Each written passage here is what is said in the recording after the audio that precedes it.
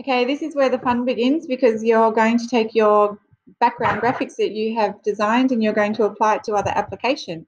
So with the selection tool, you will grab your arrow, click on the background and drag so that you are dragging it over all the imagery to select it and you will go control C to copy it.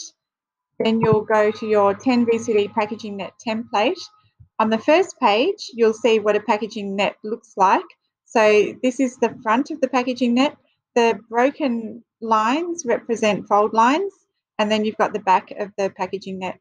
The solid lines represent cut lines. So that's probably where the barcode may go on the back. You could also put it smaller on the side. That's up to you with your design.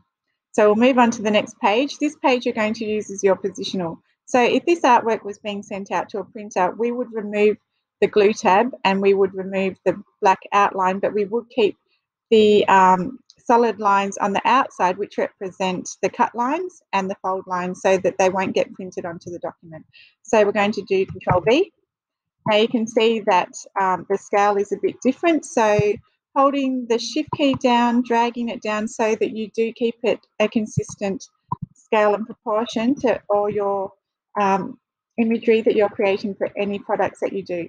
Now, I only want to have the background square repeated once. So Control Shift G to ungroup if you have it grouped. And I'm going to select this box and I'm going to drag it so it covers the entire product. Click on the background to deselect it with the selection tool, drag to select all my shapes again, but then hold down the shift key, click on the background to deselect the background. So then I just have that selected. Now I'm going to start dragging my selection and right after I start dragging I hold down the Alt key which is the duplicate and the Shift key which duplicates it and shifts it along the same axis. So I'm going to place it there and I'm going to do the same process again. Start moving then Alt, that duplicates it.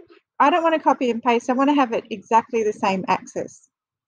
So Alt and Shift to start moving it. Okay, that's fine that it's overhanging over there. Now I'm going to get my logo and I will center it on the front. I can resize it if I want to. I can even recolor it and you know how to do that. You can see I can only see the blue outline. That's because it's sitting behind the graphics. So while it's selected, I go Object, Arrange, Bring to Front. There we go. Barcode I'm going to place on the back tab. Okay, there we have it. And um, I'll show you the next step next.